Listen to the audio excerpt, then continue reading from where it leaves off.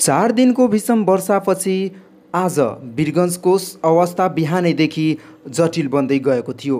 तर साँझ चार बजेदेखि वीरगन्जको अवस्था सामान्य हुँदै गएको छ। वीरगन्ज बजार मायास्थानदेखि लिएर घन्टाघरसम्म अवस्था सामान्य हुँदै गएको छ। आदर्शनगरको ग्रिन सिटीमा पनि पानी सुखेको छ र अहिले अवस्था सामान्य पुग्न गएको छ।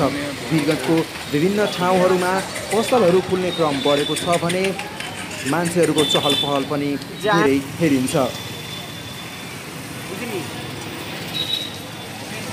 मायास्थानदेखि लिएर घन्टाघर जाने बाटोमा पनि हामीले हेरे र सबै ठाउँहरूको अवलोकन गरे थुप्रै जसो पसल बन्द भए तापनि धेरै धेरै जसो पसलहरू सुचारू रूपमा खुलेको पनि हामीले हेऱ्यौँ।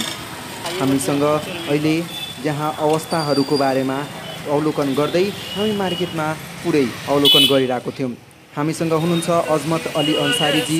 उहाँसँग हामी सोध्छौँ कस्तो अवस्था छ वीरगन्जको आज बहुत दिन के बाद जब पानी पड़ पड़त रहलक और वीरगंज की अवस्था और वीरगंज के अगल बगल में सारा गाँव घर के जो अवस्था खराब रहलक पानी के कारण आज से लगभग सामान्य हो गई बा रोड पर जब पानी जमत रहलक हुआ पानी नहीं के जमल और अभी के घर में रहनी सन, अभी खुशी खुशी बाहर निकलल बनी सन।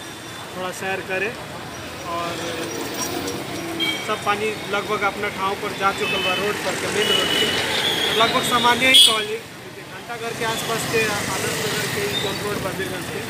बाज़ार के रोड की अवस्था सामान्य रही। बहुत बहुत धन्यवाद बाटे अपने के। हमीर को साथ में हुनुहुन्थ्यो कलाकार अजमत अली अन्सारीजी उहाँले आफ्नो प्रतिक्रिया दिनुभयो। अहिले अवस्था सामान्य रहेको छ र वीरगन्जको हामी घन्टाघरको दृश्य हेराइरहेको छौँ। तपाईँलाई घन्टाघरको दृश्य हेर्दाखेरि यहाँको पसलहरू खुल्ने अवस्थामा छन् र अवस्था सामान्य पुगेको छ। यो ठाउँमा बिहान ढुङ्गा चलाएर लग्ने अवस्था जस्तो थियो पानी भरेको। अहिले सामान्य अवस्था हामीले हेरिरहेको छौँ। घन्टाघरको अवस्था पनि सामान्य रहेको छ। यहाँ पानीको अवस्था हामी हेरेनौँ। यस्तै अवस्था देशभरि नै थियो अहिले सामान्य अवस्थामा पुगेको छ। कृष्ण श्रीवास्तव